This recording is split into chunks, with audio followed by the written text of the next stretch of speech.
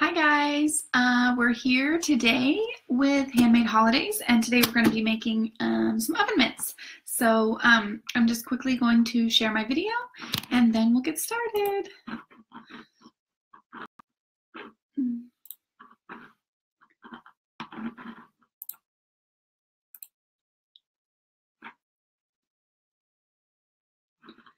So I'm doing this on my computer, so I can't see your comments quite yet if you've commented and checked in, um, but I will check the comments as soon as um, as I get this shared. So um, I hope everyone's having a great day. I hope you had a nice um, holiday Veterans Day weekend. Um, we had a long weekend, so that was fun. Um, my kids always love an extra long weekend. Um, but I don't ever get as much work done as I'd hoped, so um, it's kind of nice to have them back at school. I'm almost done.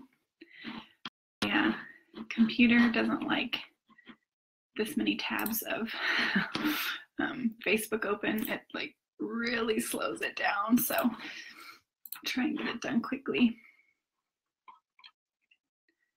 share it on this one. Okay. One more. And then I'll be done. Okay. All right, we're all set. So, hi Andy, Micah, Kathy, Milka. Sorry, I said that wrong. I read it quickly. So, um, I hope well. So today we're going to be making um, some oven mitts. Good morning, Gina. Um, and make sure you share this so that you can find it later, so that your friends can find it, so that we can all sew together. Um, that's the best way to find it again, is to share it. Um, good morning, Helen, Tara, Diana, Elaine, everybody's here. Hi. Um, it's so nice to see everybody. Well, for you to see me. okay, so today, um, in the blog post that I linked up in the description, you can find the um, template for this. And I've got, as always, we've got a PDF and we've got a um, SVG. So if you're using your cutting machine, like I've done, you'll want to use the SVG. If you're going to cut it out by hand, hi Gina, Pamela. Thank you for sharing, Gina. That, I appreciate it. Um, then if you're using, if you're cutting it by hand, you're going to want to use the PDF. Cut it out um, and cut it out by hand. So if you're using your cutting machine, um, you will cut, you want to cut two, two out of the lining fabric and two out of the um, outside fabric. And you want to, so if you're going to, you want to just, you'll put this in and then flip it so that it cuts both ways. Let's see. These thumbs don't want to stand up for me when I'm like that. So you want it to cut going each way because eventually they're going to be like this. If you're cutting it by hand, fold the fabric and then just cut one time like that. So you get one going either way. And do that twice, once for the lining and once for the main print on the outside. Um, and then I've got my um, fusible fleece as well which you guys know I love, and I've linked that in the blog post. Um, I put all the supplies that I use in the blog post so you guys can easily find them. Um, so I've got my fusible fleece, and for our mitts, I cut three layers of the fleece. I tried it with two, and it just wasn't thick enough. And um, yeah, so I'll tell you how I figured out it wasn't thick enough. And I don't want you to necessarily do this because it's not the safest, but literally what I did was I put two layers and then I stuck my hand right on my iron, right like that. And it was, it got warm. It didn't get hot, like I didn't burn myself. So then I put a third layer and I can hold my hand on my iron for a good 30 seconds and not feel anything. So that's how I figured out that I wanted to do three layers. um, but if you want to be safe, I would do three. You could even do four, a fourth layer of the fleece or batting, whatever you're using. If you're using a super thick batting, you might want to go even thicker. I mean, even less, you might be able to work with two. If you're using a thin batting, you might want to do four. So three is my happy place, and with this fleece that I like, three works really well and it doesn't get hot. Um, so that's the plan. Good morning, Patty. Good morning, Tara. You can totally just use cotton batting. It, it, uh, it, when I fused it, it gets the thinnest it's going to get and it'll work just fine. Um, and I have one that I've been using that I made somewhere here and it works just fine. So then I've got, I've got this going. Oh, we've got a, um, a happy, so we've got two sides. They're exactly the same, but just opposite because they're eventually this is going to be what, what we have. So we're going to put them together like this. So to start, we, I'm just going to clip everything together. like so.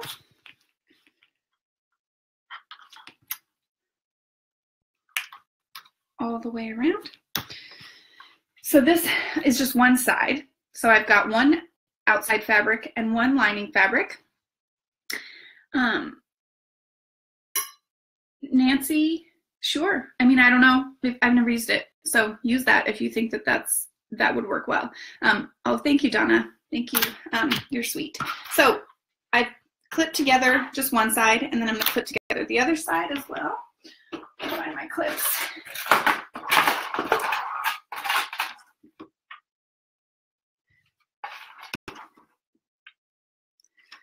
So you can use pins, but you know, I love my clips. Let me scoot this so we can see here. There we go. So I'm just going to clip all the way around. And then, so if you're we've got two types of people. I mean, well, I've identified two categories of people.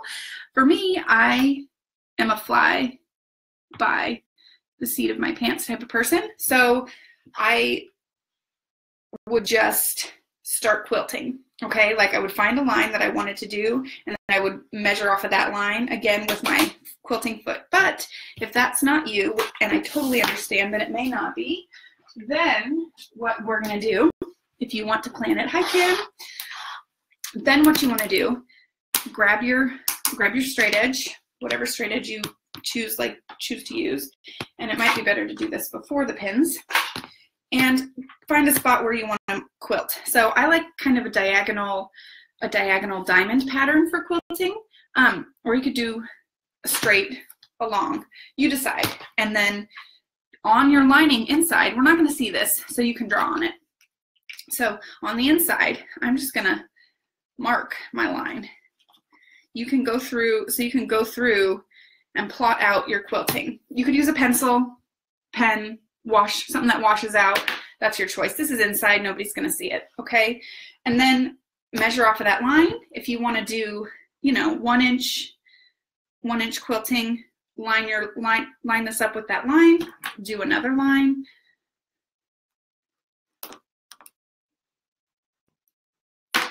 and then keep going. I mean, you can do however much or however little you want. Um,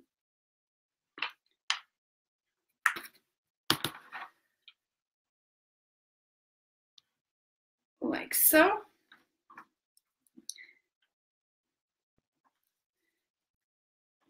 And then,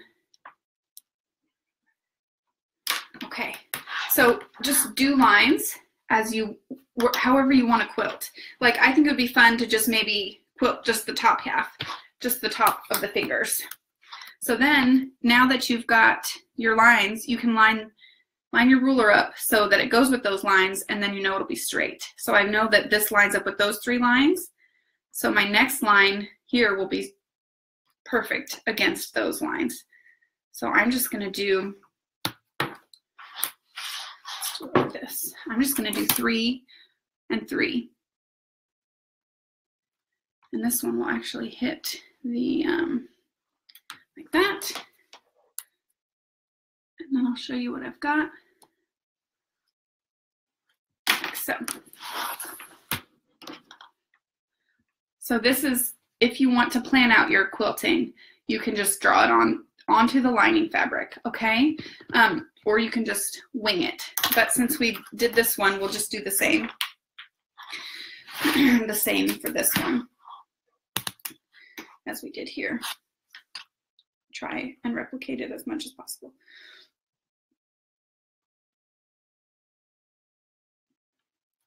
Hi, Nancy. I'm so glad you're here. Um, if you go to just Sew What Alicia on Facebook and then click videos, it has all the videos I've ever done.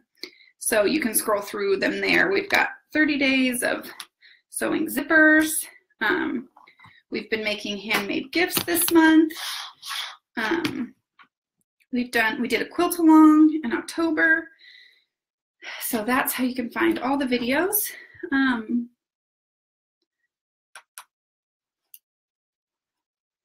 that we've done. Okay, and then it's about just trying to replicate here what I've done. But they're on either side, so it's not a huge, it doesn't have to be exactly the same. I'm just using my straight edge and marking on the lining side because we're not going to see that side. It's going to be inside. And one more, right like this. I love these clear rulers because you can see through to make sure everything really lines up. Okay. So the machine, um, Tara, the machine that I use is just a really basic Brother that I got at Target um, years and years ago. It's the Brother XL3750. Um, there's lots and lots of really good intro beginner sewing machines um, that don't, I don't really think you need a ton of bells and whistles. Um, the, um, if you're lacking some confidence, the um, Brother CX 6000i is really nice um, because it has some stuff built in that's really helpful um, for newbies. Like it it won't let you sew without the presser foot down, which can really cause issues if you're, so if this is up, most machines will just sew, but the Brother CX, CS 6000i has a, a beep. It alarms at you. It won't let you sew with this up because that really causes tangles and jams up your machine. So it tells you to put this down. It also has a speed control, which is nice um, if you're not used to doing the pedal. So I like those. I like the, that's the one I really like if you, and it's, it's really inexpensive. Um, it's relatively inexpensive. So now I'm just gonna go ahead and I'm, um, I'm just using my quarter inch foot here because I've got the lines drawn on and we're not doing a lot of, we're not doing any curly cues, we're just doing straight lines. So I'm just gonna start and then back stitch with it.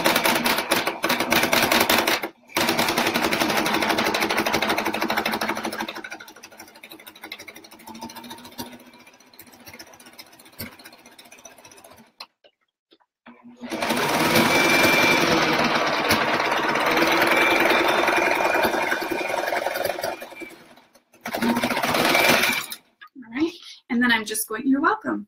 I'm just going to keep, I'm going to chain stitch. So just keep going with my second one. So I don't have to start and stop.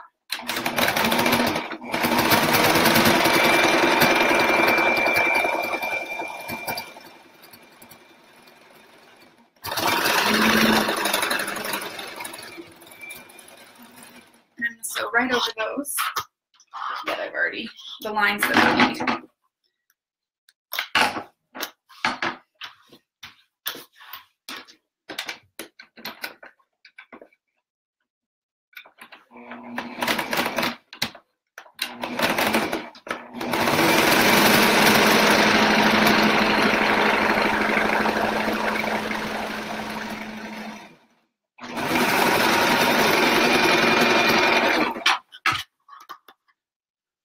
sewing through three layers of the batting and two layers of fabric.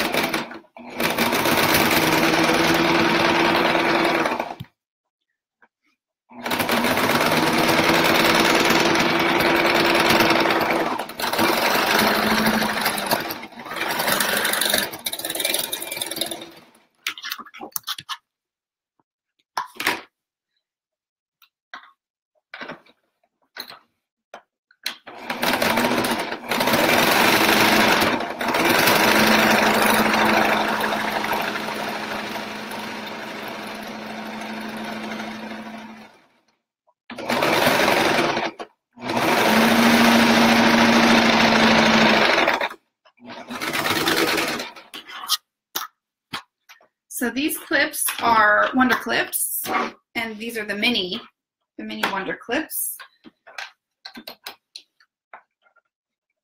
They're my favorite. They're so nice and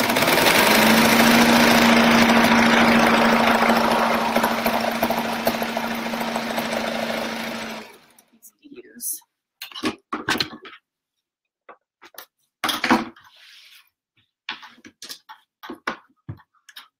Okay.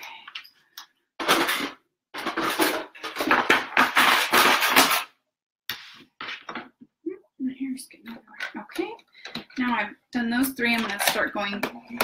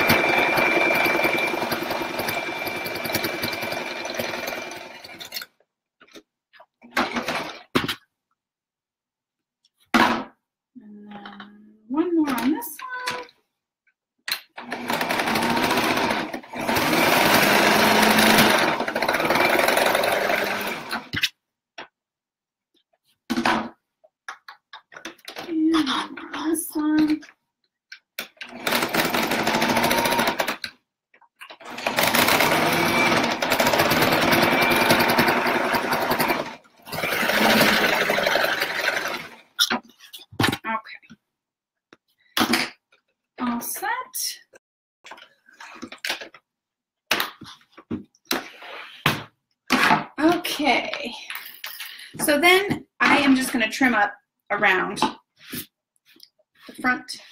And here you can see the quilted part. I like the just a little bit of the, you know, square diamond pattern in the middle. I'm just going to trim up the, I'm going to look at the front and if it came a little wonky, the batting, so many layers, I'm just going to trim it up.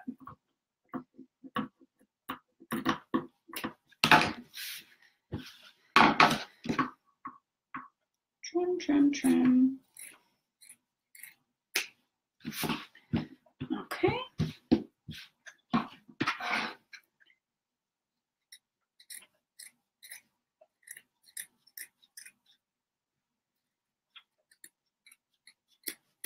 There we go. Make it nice and even. Okay. Oh, I got some thread caught there. To trim this one too.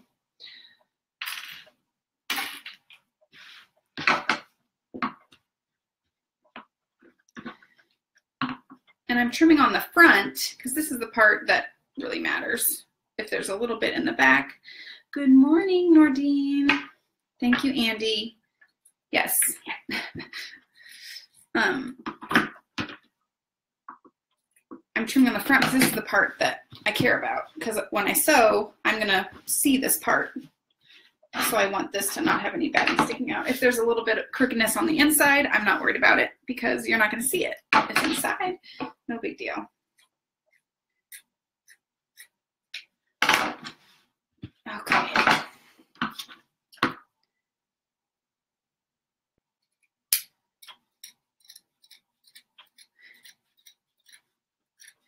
You don't have really heavy duty scissors, you can just do one layer, of, trim through one layer of batting at a time. Good morning, Rebecca. Good morning, Casey. Good morning, Carol. Thanks for being here. Um, okay, so here we've got our two, we've got two sides, nice and thick. Okay, now we're gonna put them together, right sides facing. So we want our lining, both linings to face out. Okay? And if you have a walking foot, now is a good time to use it because we've got a lot of layers here. So we're not gonna sew on this bottom, this bottom line. This is gonna stay open, but we can clip there. If it's too many layers for your clips, you can always go to pinning, but my, my clips just barely do it. Um, and you can make these in just regular, not Christmas fabric. Um, so they're good for year round if you want to. Um, but these would be a fun, you could put these together as a fun gift with like a hot cocoa um, gift bag basket, you know, all the ingredients to make like stove top hot cocoa. Um, yeah, office clips would be good.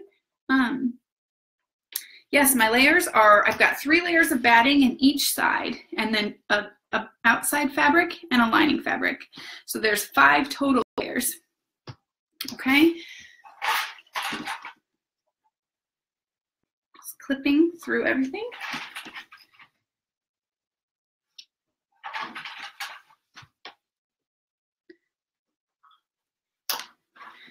And if we've gotten a little uneven from the trimming, you can, you're gonna sew on that side so you don't uh, miss it, okay?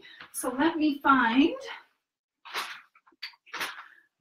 if you do have a walking foot, this is the time. They're not too expensive. Um, you can grab them on Amazon. If you don't have one, go on Amazon and search your machine. So mine is a brother, so I would search brother walking foot to find that walking foot, and it'll it'll pop up with the ones that um, that will work. So it should pop up and it'll show a list of all the machines. Um, it will show a list of all the machines that fit, that that foot, specific foot will fit. And then to install mine, I have this that needs to go over this bar up top here, and this that goes here on the screw. So be careful to be sure and do that. Okay.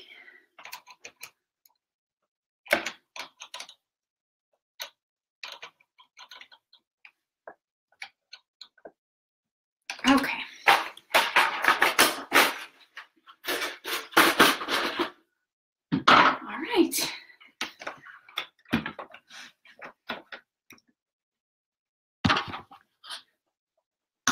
Okay, so then I'm going to start, because I'm leaving this open, I'm just going to start here and go around.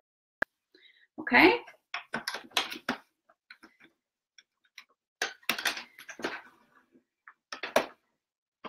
And with the walking foot, you can't backstitch.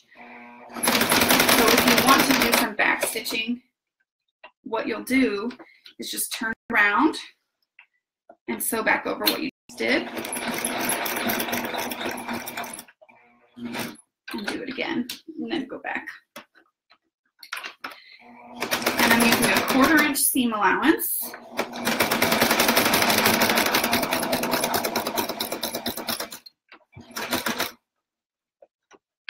And with this many layers, try not to do too much um, pulling or pushing through. Just let the machine kind of do its thing.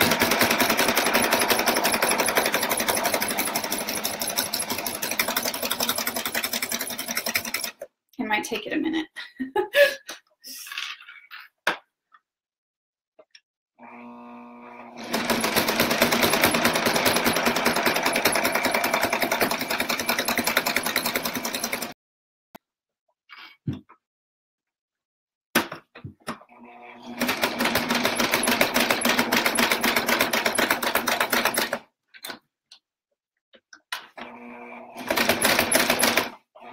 And when you get to the curves, just kind of pick and lift.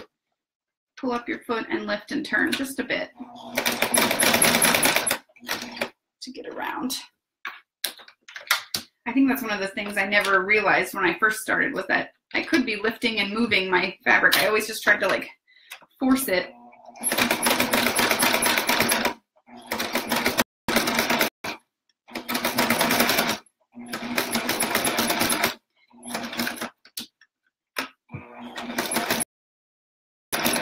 here at the bottom of the finger here, I'm going to go down and I'm just going to go across a couple stitches and up instead of doing a direct diagonal. I find that helps with the puckering.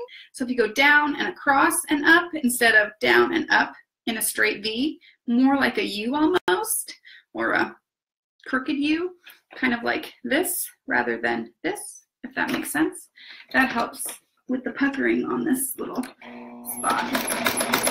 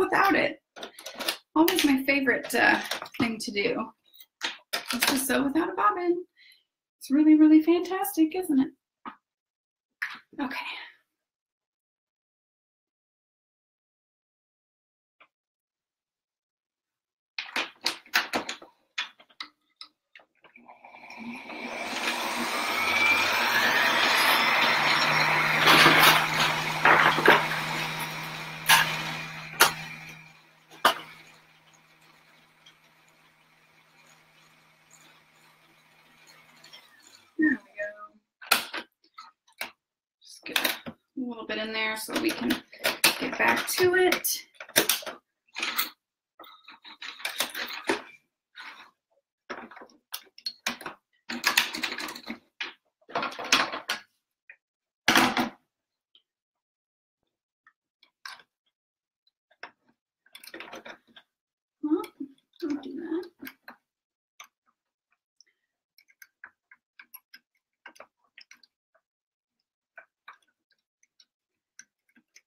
this is being a turd. Stop it. There we go.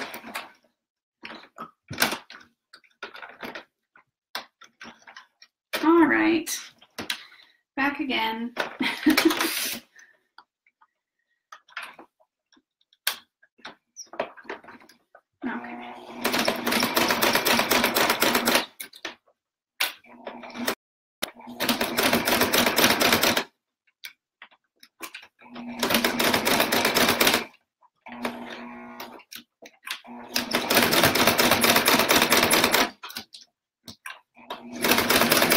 right on the edge of my fabric. That's why I have to keep lifting because it keeps wanting to move the fabric on me.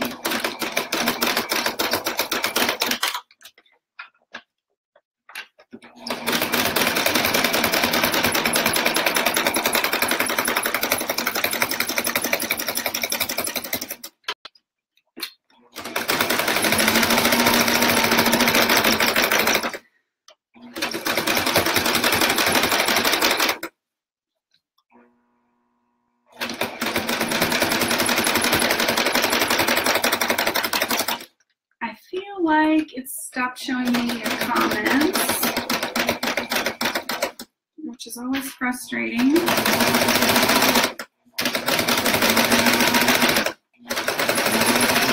Okay, so let's just make sure we're here. Oh yeah, lots of comments that I didn't see. Hi Tina. Um, hi, hi Tanya. Um, Hi, Bernadette. All right. So I've got all the way through, and I just like to turn it over and make sure that I've sewn around everything and didn't accidentally get off on the back, and I have. I've gotten everything. so here we go. I'm gonna get my super duper scissors out and I'm just gonna trim up a little bit of the bulk around the finger.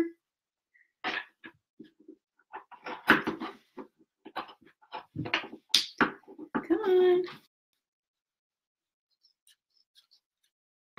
And trim into that curve or the U that we did to try and get some of the bulk out in between the fingers. Maybe, gotta get through all the layers. This will help it turn out a little bit better. Yeah, we have to turn this out.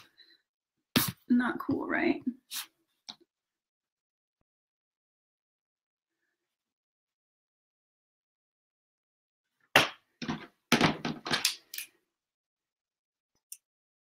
Um, I feel like my brother's trolling me, guys. Are you trolling me, Zachary? Okay. Um, are you saying do a square and then sew and then trim around? Is that what you're asking? And is it a serious question? I need to know these things before I respond. Okay. So I'm just trimming up a little bit of the excess.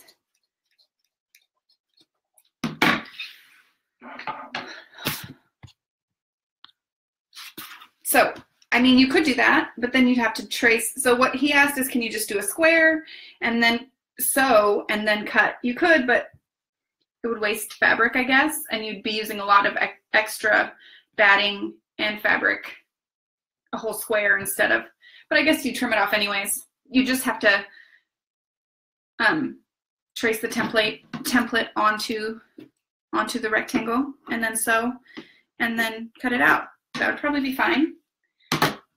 I mean, I think that would probably work. It's not typically.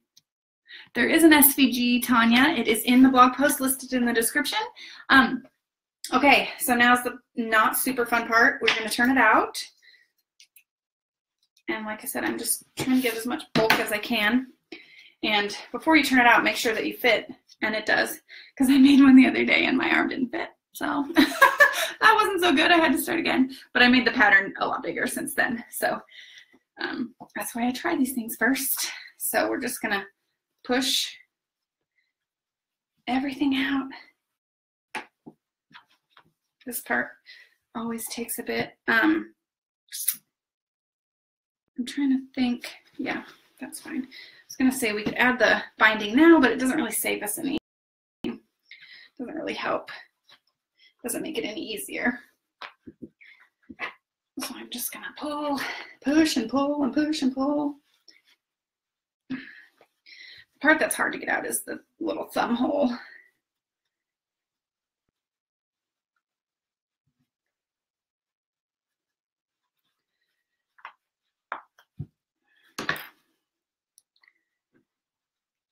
You guys know me and my turning stuff out, how, how much I love it.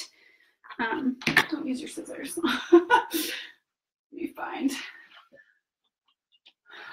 something to push with.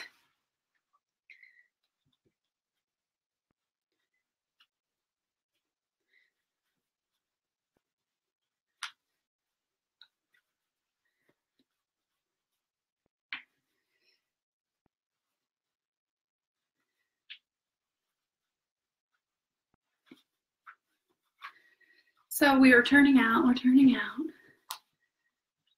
Bulky, which is why this takes a while. Got lots of layers. There we go.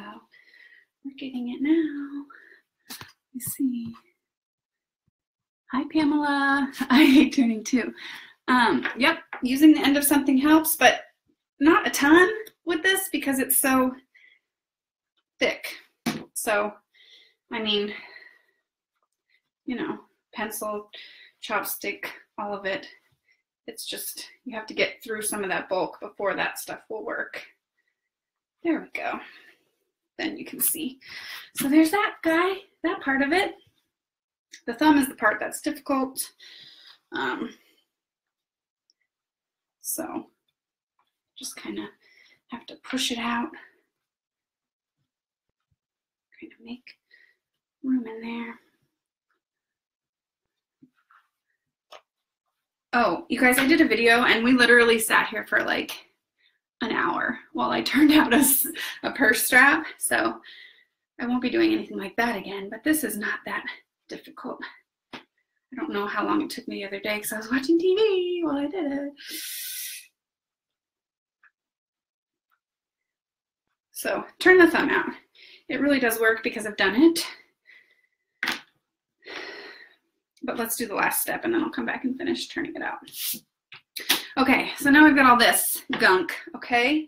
So there's a couple different ways we could do it. Um, but what I want to do is, and I guess we could just try, mm, but what I really want to do is do, um,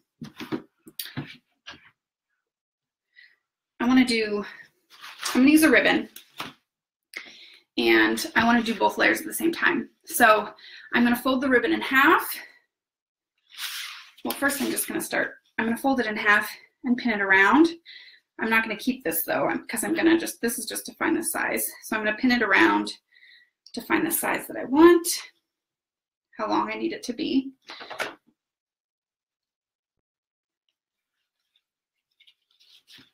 So that I can trim it up and then we'll work with it. And like I said, I guess you could technically do this before you turn it out, but I don't really know that that serves much of a purpose. So I'm just going to trim it. I've got it overlaps by a few inches here. I've got enough so that it overlaps. Um, yes, this is a grosgrain ribbon. If you can see you want to see it a little bit closer? I mean, you can't really tell the. All right, so then let me grab a few more clips. I keep putting them away, getting them out, putting them away, getting them out. So then all I'm going to do, and you might have to wiggle it a bit when it's in the machine, is I'm just going to clip it so that it covers both edges, like so.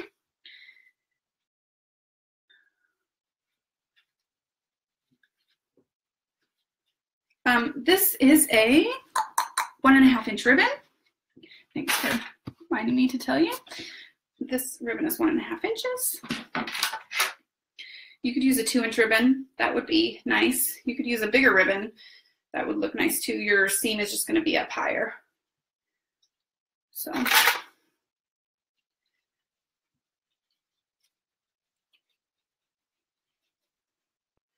You could do this traditional with traditional binding as well.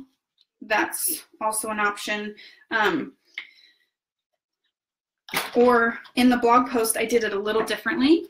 So um, you could do it that way too. And then when I get to the end, I'm just going to fold this under so that it has that a little bit nicer edge as the finishing spot. Okay. So let's just see what that looks like. It looks like this. We've covered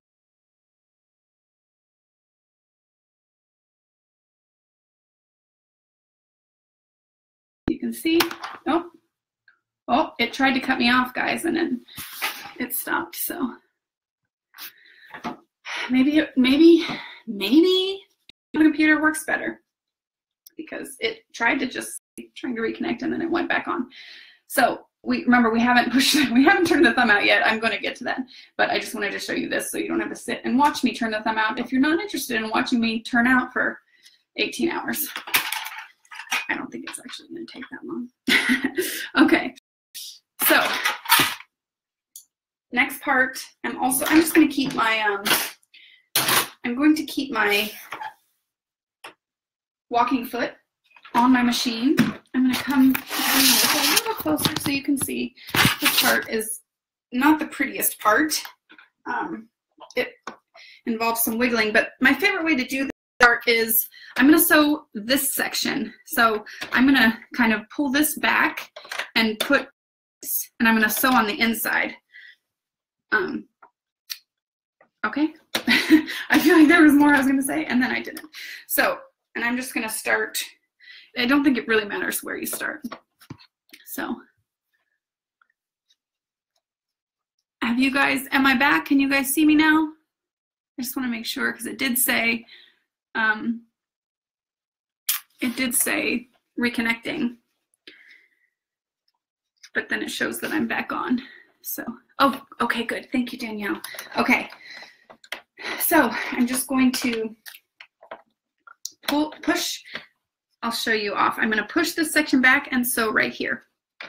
And then I'm going to slowly turn and pull the top back as I go. I'm still using my walking foot. And so this is kind of a finagling, wiggling type of thing. Um, I do not have a free arm. Um, ba, ba, ba. Thank you guys for letting me know you can still see. That's the only thing I don't love about doing it on the computer is that it stops showing me your comments, so I have to go back and scroll through them. Okay, so let's just make sure, see what we've got here. Okay. So I'm just gonna sew as close to the edge of the ribbon as I can, the inside edge, so that, um, so this, this, the bottom edge, not where the it meets the bottom of the mid, but the bottom of the ribbon edge, okay?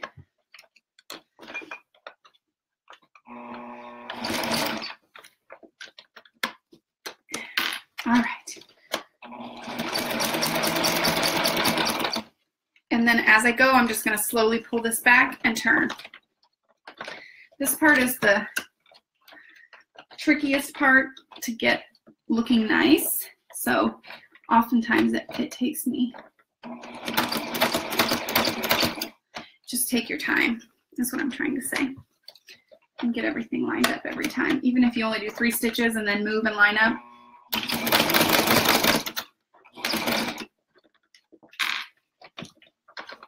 And um, try and keep your needle down when you're moving it. Um, the hexagons on my wall are vinyl. They're adhesive vinyl that I got. I've got a blog post on it if you're interested. Um, it's called How to Make Vinyl Wallpaper, I think it's called.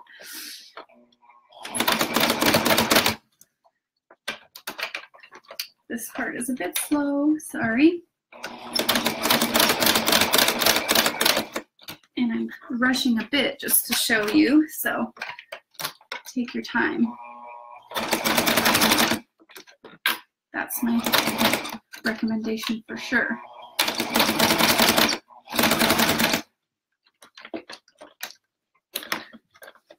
And my machine's getting all wonky on me because I'm, it's mad. I'll have to fix it. Go back and fix it. So I'm just pulling back and turning as I go. I mean, not as I go, but between times.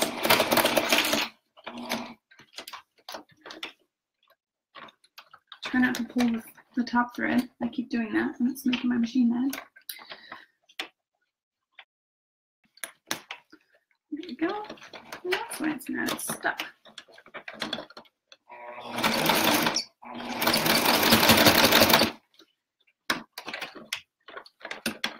And the flatter you can get everything, the better it will, um, the better it will go.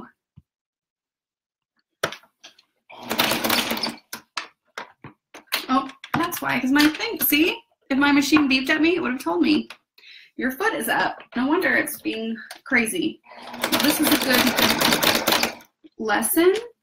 I can show you what it looks like now that my foot was up and why we don't want to do that, right?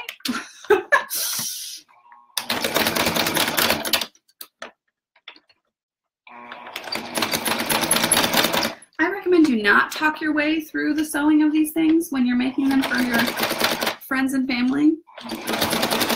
That never really, I mean, sometimes it works for me, but sometimes, lots of the time, I make boo-boos. Okay, so let me show you. And then I'll tell you, don't do it. and when you make your own. So this is what my machine did when I left my foot up. It made it all freaking weird and crazy, okay? So that's why that other machine is good, not to, um, not to, so that it beeps at you. But if you look from afar here, you can see we've got this nice finished edge now, the ribbon. I'm obviously gonna have to rip this off and redo it. Um, let me think. Um, I'm trying to think of how we could have done it before. I mean, if we did it, so if you bound the bottom before you sewed it together, there would be a weird edge here and here if you did it before, before you put it together.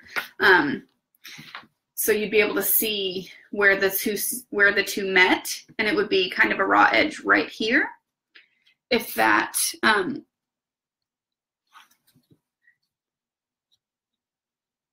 um, if that is easier. And if you don't mind there being a seam here and here, you could add this binding. So you could quilt it all, add a binding on either bottom, and then sew along the inside and turn it out. That um, will leave you with just a little bit on either edge. There'd be like a raw, like you'd be able to see right, it, it would look kind of like this right here where the seam meets, almost exactly like that. You'd see, you'd see where the seam is at the end right there. So yes, Jennifer, my live schedule is Monday, Wednesday, Friday at 10 a.m. Central Time. So um, I'm here every Monday, Wednesday, Friday at 10 Central Time. All right, I'm gonna turn this out and I'm gonna fix this because I left my foot up. That's what happens. Now we know, right? That's why we don't do it. If you're like, that doesn't happen, it does. It happens to me. and it happens to everyone, I think, if you don't have a machine that tells you. Just sometimes because I was talking and blah, blah, blah. I forgot to put it down. So, but anyways, you can see the inside has a nice, if I trim my threads, has a nice finished spot. The outside will have a nice finished spot when I don't have the wonky threads everywhere.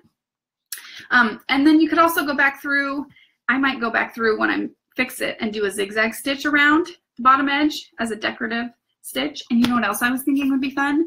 To do a ruffle at the bottom like we did the other day with our bibs. So you could go in again and just sew right to this, just sew a ruffle so that it kind of sticks out.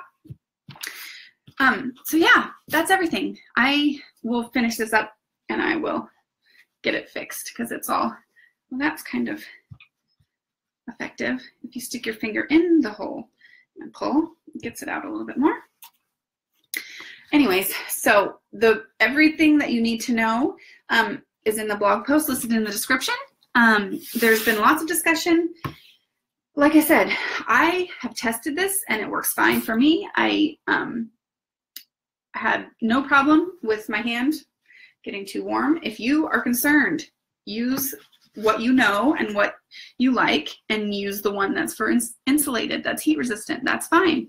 I used a bunch of layers because I didn't want to injure anyone. So, and it is very thick and sturdy. Um, it's not thin at all, as you've seen from the sewing. I mean, it's thick.